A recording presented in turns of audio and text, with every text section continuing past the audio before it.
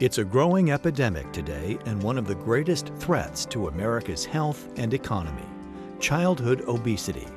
Statistics show about 32% of children and adolescents are obese or overweight, and almost 20% of all children ages 6 to 11 and 18% of those ages 12 to 19 are also considered obese.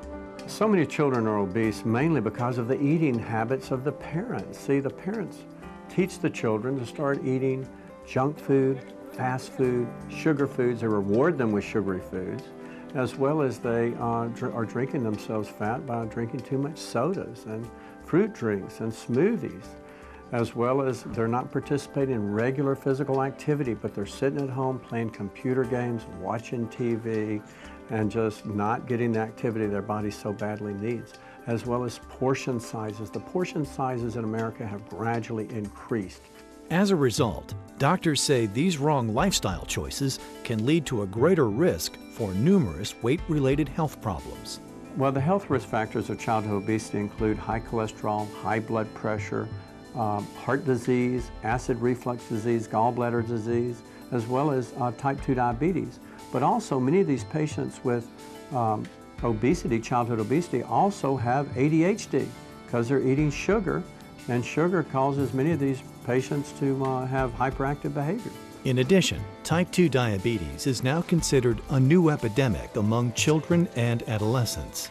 It's estimated that the incidence of diabetes is going to double or triple in the next 20 years, which many fear could collapse our healthcare system.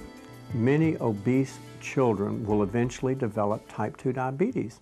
And I tell parents that type 2 diabetes is a choice disease. You see, you catch a cold or you catch the flu, but you develop type 2 diabetes from making wrong choices, such as choosing the wrong foods, foods that are high in sugar, foods that are high in fat, by choosing to be obese, and by choosing to be sedentary.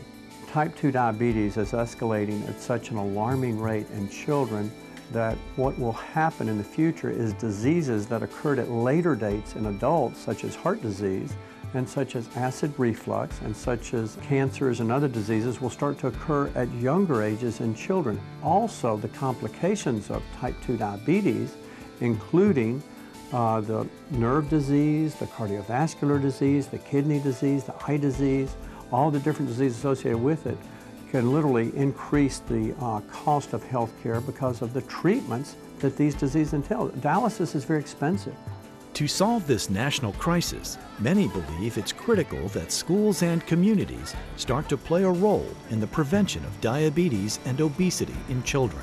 Schools can definitely help prevent childhood diabetes as well as um, obesity by simply eliminating all these soda machines incorporating regular physical education for all ages, as well as making the lunches healthier, because many of the lunches have desserts, lots of high glycemic starches, lots of fried foods. Simply preparing healthier foods will help tremendously in decreasing this obesity epidemic in our children.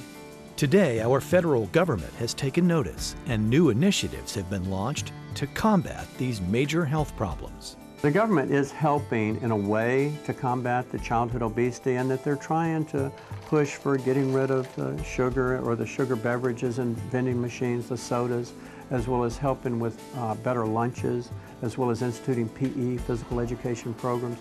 And Michelle Obama is on a campaign to improve the health of school lunches, which is great, but it doesn't start with the government, it starts in the home.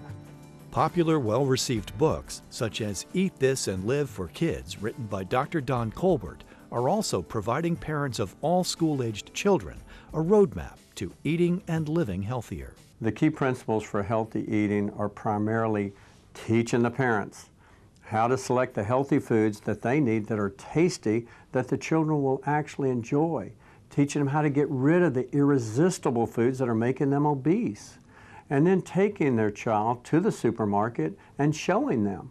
And simply teaching these simple principles, the parent will learn exactly what they need to do and then teach the child what to do. Many parents say these principles are making it easier to raise healthy kids.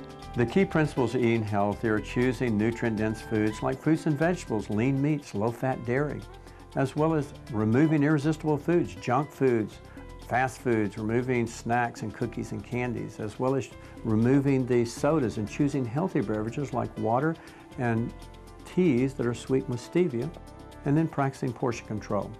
Dr. Don Colbert created the Divine Health Wellness Clinic dedicated to helping people around the world live and thrive in better health. I practice integrative medicine in Central Florida, which incorporates conventional medicine with nutritional medicine. You see, most doctors will simply first prescribe a medication or recommend a surgery, but I try and get to the root of the problem, which is usually an emotional, a dietary root, a uh, nutritional root, or an infectious root. And so, see, the word dis-ease will eventually produce disease, but it starts with dis-ease. So what I want to do is get to the root of a person's problem, and that's why I've written so many books that literally looks at first the nutritional components, the dietary components, and the emotional components to disease instead of reaching for a medication to turn off a symptom. Childhood obesity has nearly tripled in the last 30 years. But the promising news is that the condition can be reversed by applying simple principles that are giving children a better chance at healthier lives. To learn more about the Divine Health Wellness Clinic, call 407 331 7007 or visit drcolbert.com.